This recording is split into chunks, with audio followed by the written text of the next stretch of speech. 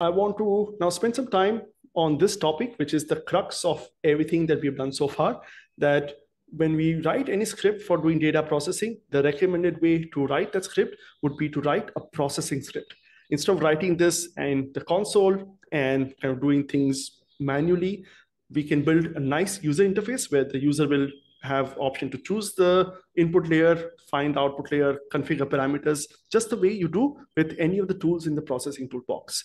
And we have a way to write scripts that integrate with the processing toolbox and allow to do data processing. This is the recommended way whenever you are writing code for developing a new tool for yourself or for your team, please make sure you write a processing script. It is good idea to test your script using the console. This is a great environment for kind of interactively testing and figuring out what's the right code for you to do data processing. But once you're ready, you can take the script and convert it to a processing script. Let's learn about how to do this. We have a short presentation. If anybody has tried writing QGIS processing scripts, they seem very complex. There's a lot of, you know, the documentation is not that great. So I'll try to demystify the process of writing processing script as much as possible. I'll show you step by step how you take the existing script and convert it to a processing script and all the advantages that we have that it offers. The processing scripts are also known as algorithms. So during the presentation or even afterwards, when you hear create a new processing algorithm, that also is the same thing as creating a processing script. QGIS refers to all the tools as algorithms, and you can create one new algorithm using a script, which is using the processing API. QGIS has a processing framework which allows you to have a standardized way to take user inputs, configure parameters, and run your workflows. So rather than trying to build that user interface ourselves and trying to do the data processing using our own method, we'll use the processing API to do all the user interface and processing for us. This allows us to write code which is much shorter, which will create a really nice user interface which is the same as all the other processing tools. So users don't have to learn some new user interface. It also integrates with rest of the toolbox. So it looks and feels very similar to a built-in algorithm. I am a very strong proponent of using this API for creating user interface. Your QGIS users are used to running tools in a certain way. They already know how to select layers from the processing tools. They know how to write output to a specific place. Do not build new user interfaces.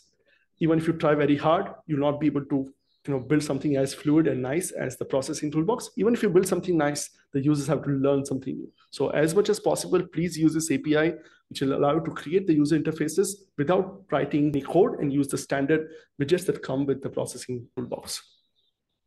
User validation. Remember, in when we're writing scripts, we have to do the validation.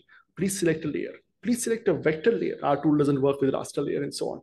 you you should have at least one feature selected. All of those validation, it's quite cumbersome to do well, if you write a processing script, the processing API does all of that for you. You don't have to write even a single line of code for doing validation. It just comes in free when you use the processing API. Same with multi-threading. If you want to run your algorithm on multiple processing in doing parallel computing, you want to run it in background. All of this is very hard to do for your scripts. But if you use the processing API, you get, again, all of this free without doing any work. What if your users want to run your script as batch processing? Processing tools allow them to do that without you having to code explicit support for it. You can display a nice progress bar. Remember when we are working with large layers and you press the run button, your script hangs because it's doing something. It's not running in the background. Don't see how much is finished. You get a nice progress bar when you use the processing tools. You can also display error messages much nicely to the user. And most importantly, when you build a new tool using this API, you get a tool that you can use within the QGIS model designer to integrate with other tools. So you can now, your users can build a model which uses your tool as one of the steps. And that's a big thing where most QGIS toolbox offers a lot of tools. You can just add a tool that is missing the functionality that you need for your project. And then rest of the tools you can just use from the QGIS processing toolbox. So if this sounds like a good idea and you want to do it, let's learn how to do this when you want to write new processing algorithms, you have to write a class. Now, this starting from this is what it feels intimidating. When you start writing scripts, all Python programmers have written scripts, you know how to write scripts. But then the moment I say you have to write a class, and that becomes a little more challenging. But we'll go through the process and see how it works. Why class? Because you create a new class that inherits from this class called QGIS processing algorithm. This is a very big class that knows how to create this dialog boxes, how to do the validation, how to do batch processing, everything that the processing algorithms need to know, it has already implemented. So you don't need to implement it again. You just say, I'll inherit from that, I'll get all the functionality. The stuff that you have to write apart from inheriting this class is you have to define some methods such as what's the name of the algorithm, what's the help description, and so on. So again, this is something that you can define in your code, what the algorithm does and what's its name. For implementing your functionality, you need to implement these two methods. So the problem of translating any script into a processing script is essentially taking the code and putting it into one of these two methods.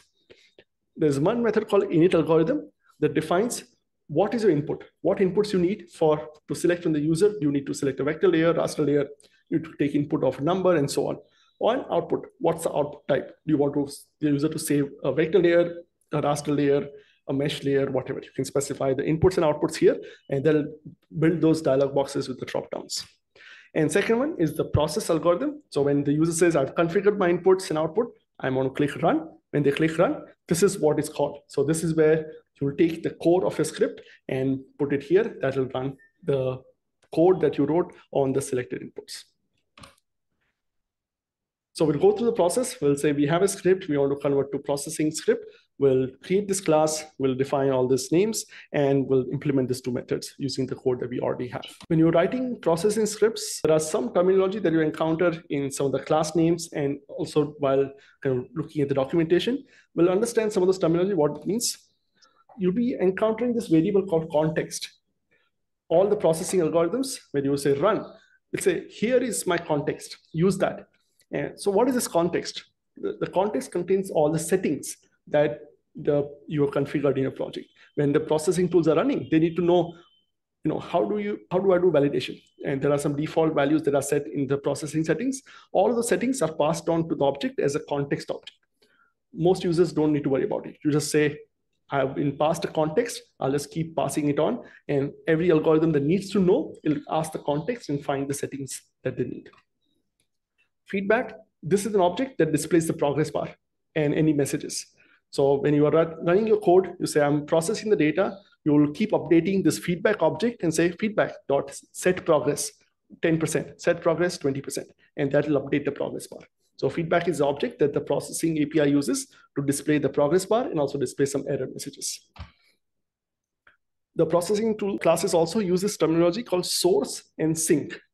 Most tools, if you think about all the data processing you've done, they, if you're using vector layers, they read data from a vector layer, do some processing, and write features. So you read features and you write features. And so the processing API provides you with some specialized classes called QGIS feature source and QGIS feature sink, which allows you to read and write features easily. So if you have some vector layer, you want to read the features and you want to write it, you'll use source and sink instead of vector layer. So this is, again, inherits from the QGIS vector layer class, but again, it gives you an, a much simpler API to interact with getting and writing features.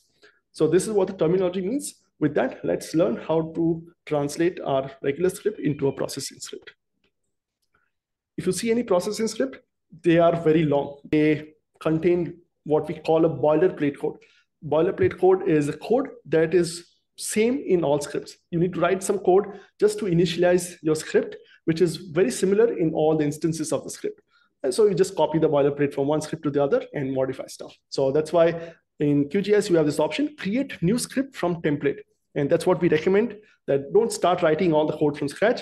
Instead, just start from a template. You have all the boilerplate, just change the stuff you need and implement those two methods that you need to implement for doing the work in your code. So with that, let's go and write the processing algorithm. I've also linked to some examples if you want to read the official documentation, it describes this process again as a documentation. I have several examples of scripts which show you how to write specific kinds of processing scripts. So if you want to learn how to define certain inputs or how to do some specific processing, you can read my blog post. Also, a pro tip is a lot of times when I'm writing the scripts, I said, I don't know how to take input for this particular variable. I'll go and find a QGIS processing tool which does something similar, and I'll go and look at the code for that. Because QGIS is open source, you have the code for creating all of those processing algorithms available to you. So again, if you say, I don't really know how to use this particular class, go and search for this in the QGIS GitHub page, and you'll find how QGIS internally uses that class. And it's a good example for you to learn from.